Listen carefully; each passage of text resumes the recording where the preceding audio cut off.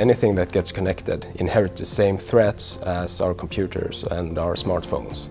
So we need to have the same mentality in place for IoT security. Threats are huge, can be huge, uh, with terrible impact. Can be privacy breach, can be uh, uh, fraud, can be terrorist attacks. You're going to have thousands, millions uh, of uh, endpoints out there. Uh, being able to detect malware or even exfiltration uh, of data from those devices is going to be a, a challenge. Security's been identified as one of the top three concerns for adopters. There's been a lot in the media about risks uh, to users and enterprise and we need to address that head on. So we're taking that first step. We've created a common guideline, right? Here are the steps you need to do.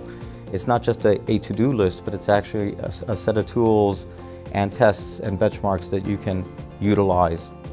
We believe that uh, for IoT, you need at least the same level of security that we have today on the cellular network. We need to do the same for Internet of Things.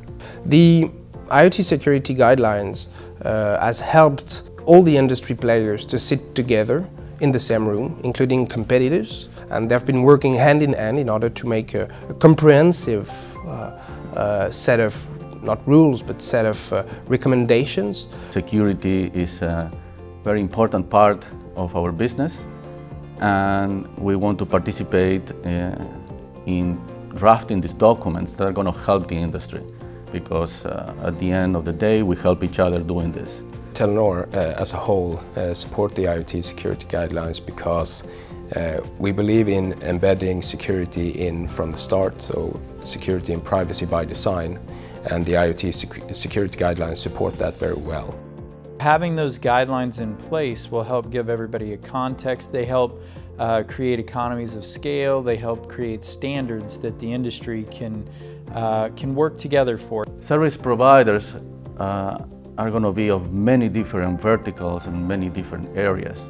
The security guidelines are a way to educate them, to provide them with the tools that they need to give the trust to their customers. The IoT security guidelines are designed to give an uplift for those companies to provide a minimum bar of security to help protect themselves and ultimately protect consumers. They introduce important concepts uh, like trusted computing base, like root of trust, which are really important to be able to uh, guarantee uh, the good security end-to-end. -end. We create too many barriers to the deployment. We talk about these wonderful use cases, but they're really painful to get to market. And security is one of those elements. So if we can make it simpler, we'll get the business, we'll get the solutions, we'll create a better tomorrow.